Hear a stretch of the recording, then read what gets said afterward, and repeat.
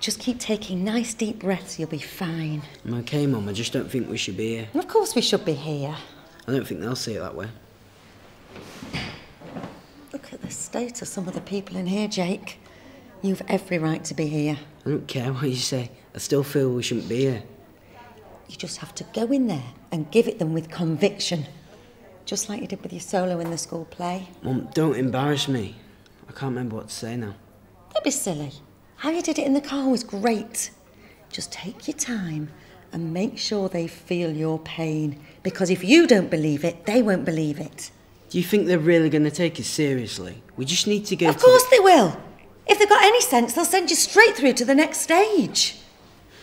I don't think I can go through with it, Mum. It's just time wasting. Oh, don't be silly. We're here now. We can go somewhere else. This is the place to be. Si- typical. We were here before him. A busy A&E department like this, we could treat 300 patients in a day. Now, a high number of them could receive treatment elsewhere, like a pharmacy or an NHS walk-in centre. So make sure you choose well.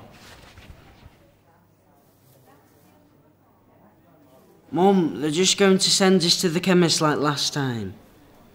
It's only diarrhea. You're so embarrassing. Diarrhea. I wish you'd have let me call an ambulance. We would have been seen by now.